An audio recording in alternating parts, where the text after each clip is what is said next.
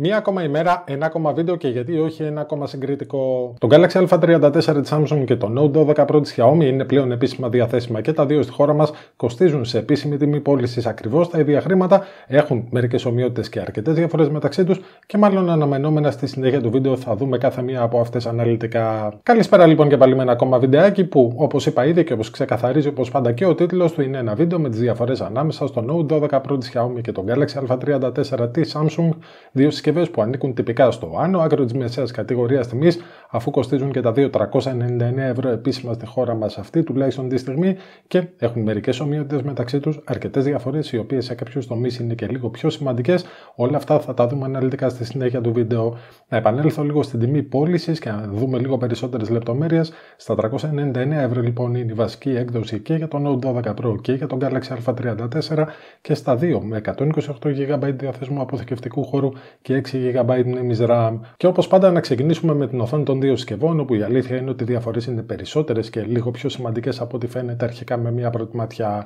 Να ξεκινήσουμε με τα νούμερα ω συνήθως, σε ό,τι αφορά το μέγεθος της οθόνης. Αυτή στο Note 12 Pro είναι μεγαλύτερη, κάτι που φαίνεται και αν βάλει κανείς τις δύο συσκευές τη μία δίπλα στην άλλη, στις 6,67 inches για την ακρίβεια και παρότι η οθόνη του Galaxy A34 είναι τυπικά στις 6,6 inches, αν βάλει κανείς τα δύο τηλέφωνα δίπλα το ένα στο άλλο, φαίνεται ότι η διαφορά είναι ίσως και λίγο μεγαλύτερη από ό,τι περιμένει κανείς αρχικά. Τώρα, εδώ, αν και αυτό δεν, απαρα... δεν αφορά απαραίτητα την ίδια την οθόνη, όταν έχω τις δύο συσκευές τη μία δίπλα στην άλλη, μπορώ να καταλάβω γιατί μέχρι ένα σημείο είναι όντως ενοχλητικό το ότι το πλαίσιο γύρω από την οθόνη του Galaxy A34, όπως και αυτό στην οθόνη του A54, είναι λίγο μεγαλύτερο από το συνηθισμένο, κάτι το οποίο όταν κάποιος χρησιμοποιεί το ίδιο το τηλέφωνο πιθανόν να μην είναι τόσο ορατό και σίγουρα όχι ενοχλητικό. Αν το βάλει κανείς δίπλα στο τηλέφωνο της Xiaomi στη συγκεκριμένη περίπτωση, η διαφορά είναι και υπαρκτή και ορατή. Και συνεχίζουμε με μερικές ακόμα διαφορές ανάμεσα στην οθόνη των δύο συσκευών. Η ονομαστική ανάλυση έχει μια πολύ μικρή διαφορά. Στα 2400x1080 pixel είναι για την οθόνη στο τηλέφωνο της Xiaomi και στα 2340x1080 pixel για το τηλέφωνο της Samsung. Δεν υπάρχει καμία ρεαλιστική διαφορά και τίποτα που να μπορεί να δει κανείς στην πράξη και οι δύο οθόνες έχουν πρακτικά την ίδια ακριβώς λεπτομέρεια. Από εδώ και πέρα όμως αρχίζουν οι σημαντικές διαφορές ανάμεσα στα δύο τηλέφωνα, έστω και αν δεν είναι, αν δεν είναι όπως είπα και λίγο νωρίτερα, άμεσα ορατές. Ο ρυθμός ανανέωσης λοιπόν είναι τυπικά στα 120 Hz και για την οθόνη του Galaxy A34 και για την οθόνη του Note 12 Pro. Το τηλέφωνο της Xiaomi όμως μπορεί να προσαρμόζει το ρυθμό ανανέωσης ανάμεσα σε 60, 90 και 120 Hz ανάλογα με το τι κάνουμε με τη συσκευή. Το Galaxy A34 από την πλευρά του δεν έχει αντίστοιχη δυνατότητα. Ο ρυθμός ανανέωσης διατηρείται μονίμως στα 120 Hz εκτός εάν εμείς επιλέξουμε να είναι στα 60 Hz μόνιμα και να μην υπάρχει κάποια διαφορά σε αυτό το τομέα, κάτι το οποίο προφανώς σαν δυνατότητα υπάρχει και στις δύο συσκευές για όσους θέλουν με αυτόν τον τρόπο να εξοικονομήσουν έστω και λίγη μπαταρία. Εκεί όμως που υπάρχει μια σημαντική διαφορά ανάμεσα στις δύο συσκευές είναι στη συνολική χρωματική απόδοση αλλά και στο τι υποστηρίζουν για την προβολή βίντεο πιο συγκεκριμένα. Το Note 12 Pro λοιπόν έχει κανονικά υποστήριξη και για το HDR10 Plus πρότυπο αλλά και για το Dolby Vision HDR. Το έχουμε πει και άλλες φορές. Το πρότυπο αυτό είναι πολύ χρήσιμο σε εφαρμογές όπως το Netflix και το Disney Plus. Ενώ η οθόνη στο Galaxy A34 παρότι είναι ένα OLED panel και θεωρητικά θα μπορούσε να έχει αντίστοιχη υποστήριξη και το hardware στο εσωτερικό των δύο συσκευών υποστηρίζει την προβολή HDR περιεχομένου, στο Galaxy A34 η Samsung δεν προσφέρει κανένα είδου ε, υποστήριξη HDR, κάτι το οποίο στην κατηγορία τιμής που ανήκει η συσκευή μέχρι ένα σημείο δεν είναι εύκολο να το δικαιολογήσει κανείς πλέον. Να ξεκινήσω όμως όπως πάντα ταυτόχρονα ελπίζω στην οθόνη των δύο συσκευών το συνηθισμένο HDR βίντεο και να δούμε και τη διαφορά που υπάρχει στη χρωματική αποτύπωση σε κάθε ένα από τα δύο τηλέφωνα. Προφανώς οι δύο εταιρείες έχουν μια διαφορετική άποψη για το πόσο θερμά ή ψυχρά θα αποτυπώνονται τα χρώματα στην οθόνη κάθε τηλεφώνου. Θα δούμε στη συνέχεια και περισσότερες λεπτομέρειες για το πώς μπορούμε να αλλάξουμε εμείς τη χρωματική απόδοση της οθόνης. Τώρα, όπως πάντα, να δούμε λίγο και στην πράξη πώς είναι τα ηχεία στις δύο συσκευές.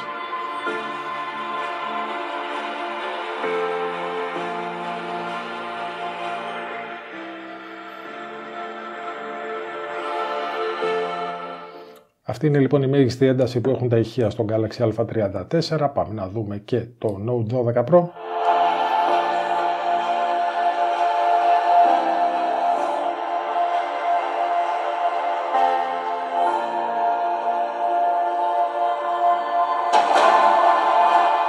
Εδώ λοιπόν το Note 12 Pro όχι μόνο έχει πιο δυνατά ηχεία σε ένταση και συνολικά λίγο καλύτερα σε ποιότητα, αλλά όπως είδαμε και η ισορροπία με το ακουστικό που λειτουργεί σαν δεύτερο ηχείο έχοντας βέβαια ξεχωριστή έξοδο για τον ήχο είναι σαφώς καλύτερη από ό,τι είναι στο τηλέφωνο της Samsung. Και όπως είπα λίγο νωρίτερα, να δούμε και λίγο περισσότερες λεπτομέρειες για τις δυνατότητες που έχουμε να προσαρμόσουμε εμείς την απόδοση που έχει χρωματικά η οθόνη στις δύο συσκευές. Όλα τα τηλέφωνα της Samsung, ανεξαρτήτως μάλιστα κατηγορίας τιμής, προσφέρουν δύο επιλογές, ζωντανή και φυσική απόδοση. Στη ζωντανή απόδοση έχουμε τη δυνατότητα να αλλάξουμε χειροκίνητα και την ισορροπία λευκού, αλλά να ρυθμίσουμε και λίγο με περισσότερες λεπτομέρειες το πώς ακριβώς θέλουμε να είναι η οθόνη στο τηλέφωνο μας. Τώρα, στο τηλέφωνο της Xiaomi, στο Note 12 Pro, έχουμε τρεις διαφορετικές επιλογές που μπορούμε να διαλέξουμε ανάλογα με το πόσο φυσικά ή πιο έντονα χρώματα θέλουμε να έχει η οθόνη στο τηλέφωνό μας και μπορούμε και εδώ να επιλέξουμε χειροκίνητα ανάμεσα στο P3 και στο sRGB χρωματικό προφίλ, έχοντας και εδώ τη δυνατότητα να ρυθμίσουμε με περισσότερη λεπτομέρεια ακριβώς την οθόνη όπως τη θέλουμε. Συνολικά λοιπόν στον τομέα της οθόνης και σε ό,τι αφορά το ρυθμό ανανέωσης και σε ό,τι αφορά τη χρωματική απόδοση αλλά και την υποστήριξη για HDR περιεχόμενο, το τηλέφωνο της Xiaomi με δεδομένο ότι τις συσκευές κοστίζουν ακριβώς τα, τα ίδια χρήματα επίσημα στη χώρα μας, έχει ένα σημαντικό πλέον έκτημα. Σε περίπτωση τώρα που κάποιος θεωρεί ότι το ξέχασα, όχι, θα αναφερθώ και στον αισθητήρα αποτυπωμάτων. Στον Galaxy A34 θεωρητικά πάντα υπάρχει ένα πλέον έκτημα, αφού ο αισθητήρας αυτός είναι ενσωματωμένος στην οθόνη του. Συνεχίζω να έχω το A34 που έχω εγώ στα χέρια μου χωρίς κάποιο αποτύπωμα καταχωρημένο, γιατί όπως έχουμε δει σε αρκετά βίντεο και για τον Galaxy A54 αλλά και για παλαιότερα μοντέλα της εταιρείας, ο αισθητήρας οπτικής τεχνολογίας που ενσωματώνει η Samsung στη σειρά Galaxy A, παρότι έχει βελτιωθεί σημαντικά η αξιοπιστία του στο να αναγνωρίζει το αποτύπωμά μας, συνεχίζει και είναι ενοχλητικά αργός στη λειτουργία του. Το Note 12 Pro τώρα από την πλευρά του, με τη Xiaomi προφανώς να γνωρίζει ότι σε αυτή την κατηγορία τιμής δεν είναι εύκολο να χρησιμοποιήσει έναν πιο ποιοτικό, αν θέλει να το πει κανείς έτσι αισθητήρα ενσωματωμένο στην οθόνη, συνεχίζει και τον έχει στο power button στη δεξιά πλευρά της συσκευής, σε ένα σημείο που προφανώς είναι διαφορετικό και ίσως λιγότερο εντυπωσιακό στην πράξη, έχει όμως σαφή πλεονεκτήματα στην ταχύτητα με την οποία λειτουργεί. Έχω γυρίσει τώρα τις δύο συσκευές στο πίσω μέρος τους και έχω αλλάξει τη θέση για τους πιο παρατηρητικούς, κυρίως επειδή το γυαλιστερό πίσω μέρος στο Note 12 Pro αντανακλά άσχημα στην κάμερα που γράφει από πάνω. Δεν έχει και ιδιαίτερη σημασία αυτό. Πάμε να δούμε λίγο περισσότερες λεπτομέρειες για τις τρεις συνολικά κάμερες που έχουν οι δύο συσκευές. Τώρα, σε ό,τι αφορά τη βασική κάμερα, αυτή στο Galaxy A34 έχει ονομαστική ανάλυση 48 MP και αυτή στο τηλέφωνο της Xiaomi έχει ανάλυση 50 MP.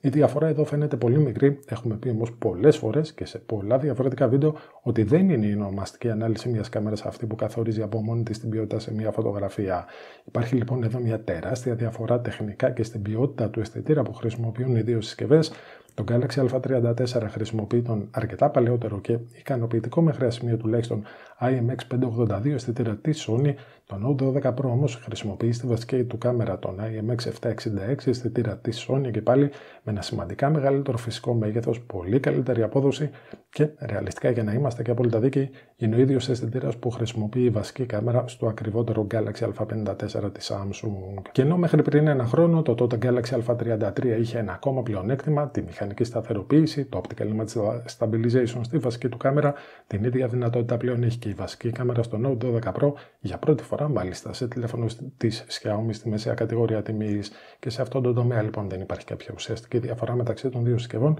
Συνεχίζει όμως το τηλέφωνο της Xiaomi και σε ό,τι αφορά τουλάχιστον τη βασική του κάμερα έχει έναν σημαντικά καλύτερο αισθητήρα, κάτι το οποίο αποτυπώνεται και στις φωτογραφίες στην πράξη. Οι άλλες δύο κάμερες τώρα στο πίσω μέρος των δύο συσκευών η αλήθεια είναι ότι δεν έχουν τόσο σημαντικές διαφορές μεταξύ τους. Βέβαια αυτό δεν είναι απαραίτητα πλεονέκτημα για τον Galaxy A34 αφού το A54 και αρκετά παλαιότερα μοντέλα της σειράς Galaxy A είχαν στην δική τους ultra wide κάμερα έναν αισθητήρα στα 12 MP με σαφώς καλύτερη απόδοση και περισσότερη λεπτομέρεια σε φωτογραφίες που έτσι καλώ έχουν μεγαλύτερο πλάνο. Εδώ η ultra wide κάμερα και στο Note 12 Pro και στο Galaxy A34 έχει ονομαστική ανάλυση 8 MP και είναι απλά ικανοποιητική και στα δύο τηλέφωνα για τις λίγες εκείνες περιπτώσεις που θέλουμε να χωρίσουμε περισσότερα στο κάδρο κάθε φωτογραφίας και δεν έχουμε κάποια απαραίτητη ανάγκη για περισσότερη λεπτομέρεια. Και στο βαθμό που αυτό έχει οποιοδήποτε είδους σημασία, αφού είναι πάντα η λιγότερο χρήσιμη κάμερα, η τρίτη κάμερα στο πίσω μέρος του Galaxy A34 έχει ένα μακροφακό για φωτογραφίες από μικρή απόσταση και ονομαστική ανάλυση 5 MP.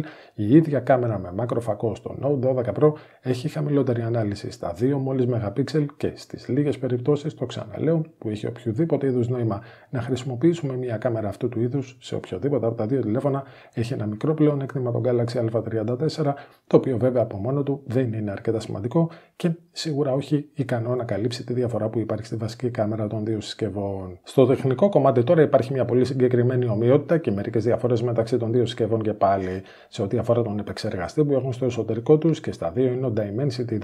1080 της MediaTek, η βελτιωμένη έκδοση του Dimensity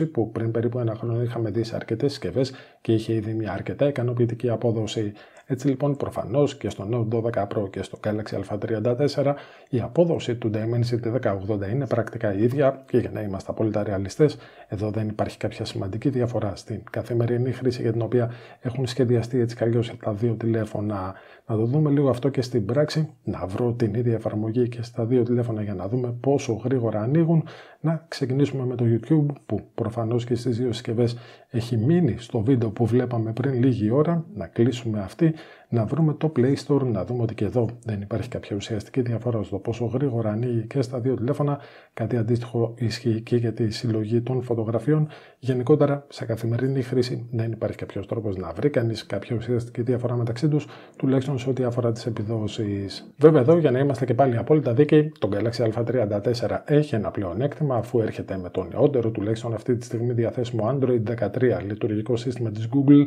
και το αντίστοιχα νεότερο One UI 5.1 ένα γραφικό περιβάλλον της ίδιας της Samsung. Το Note 12 Pro από την πλευρά του έχει αντίστοιχα το MIUI 14, το νεότερο γραφικό περιβάλλον της Xiaomi, βασίζεται όμως στο αμέσως προηγούμενο Android 12 και με δεδομένο το ότι οι συσκευές σε αυτή την κατηγορία τιμής δεν υποστηρίζονται έτσι κι αλλιώς το ίδιο σε ενημερώσεις λογισμικού, είναι ένα μικρό μειονέκτημα για το τηλέφωνο της Xiaomi αυτό, το οποίο πιθανότατα σε αυτή την κατηγορία τιμής δεν θα έπρεπε να υπάρχει. Και τώρα εδώ να εκνευρίσω μερικούς που δίνουν μέχρι σημείο με το δίκαιο τους σημασία στην υποστήριξη που προσφέρει οποιαδήποτε εταιρεία σε βάθος χρόνου σε ενημερώσεις λογισμικού. Είναι λίγοι αυτοί που πραγματικά θα κρατήσουν ένα τηλέφωνο για 3 και 4 χρόνια ώστε να τους ενδιαφέρει η υποστήριξη που προφανώς είναι ένα πλεονέκτημα για τον Galaxy A34 σε αυτό το τομέα και ρεαλιστικά είναι ακόμα λιγότεροι αυτοί που μετά από 3 και 4 χρόνια με ένα τηλέφωνο σε αυτή την κατηγορία, το οποίο οριακά πιθανόν θα καλύπτει τις απαιτήσεις που έχουν στην καθημερινότητά τους, θα συνεχίζουν να ενδιαφέρονται ή θα έχει οποιοδήποτε είδους σημασία σε καθημερινή χρήση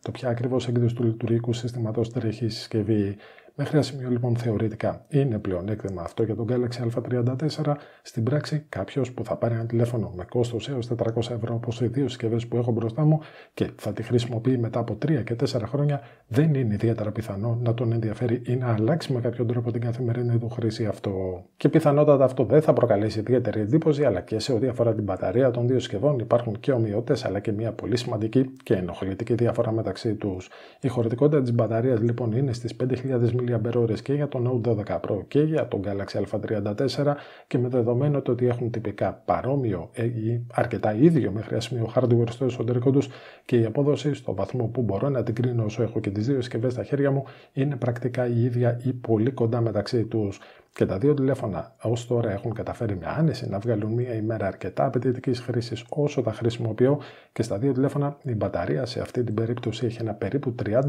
ακόμα διαθέσιμο στο τέλος της ημέρας και τα δύο με την ίδια ευκολία μάλιστα σε λιγότερο απαιτητική χρήση μπορούν να βγάλουν και δεύτερη ημέρα λειτουργίας χωρίς κάποιο ιδιαίτερο πρόβλημα. Δυστυχώς όμως σε ό,τι αφορά τη φόρτιση, το Galaxy A34 συνεχίζει να φορτίζει με μόλις 25W, κάτι που η Samsung πρέπει σίγουρα να διορθώσει σε όλα τα τηλέφωνά της και όχι μόνο σε αυτή την κατηγορία τιμής, το Note 12 Pro από την πλευρά του φορτίζει περισσότερο από δύο φορές πιο γρήγορα με 67W, κάτι που έχει πραγματικά διαφορά στο πόσο γρήγορα μπορούν να γεμίσουν οι δύο συσκευές στην μπαταρία τους. Κάτι ακόμα όμως που έχει διαφορά και συνεχίζει να είναι το ίδιο ενοχλητικό είναι ότι το Note 12 Pro στα ίδια χρήματα που κοστίζει με το Galaxy A34 έχει κανονικά το φορτιστή στη συσκευασία του, ένα φορτιστή που και για τα 25W αυτής της όχι γρήγορης φόρτισης πρέπει να αγοράσει κανείς ξεχωριστά για τον Galaxy A34. Και για να κλείσω σιγά σιγά το συγκεκριμένο βίντεο, γύρισα και πάλι τα δύο τηλέφωνα στο πίσω μέρο του να κάνουμε μια συζήτηση και για την κατασκευή και για το σχεδιασμό του. Σε ό,τι αφορά το σχεδιασμό, συνεχίζω και θεωρώ ότι η επιλογή τη Samsung να κρατήσει την ίδια σχεδιαστική φιλοσοφία για όλε τι συσκευέ τη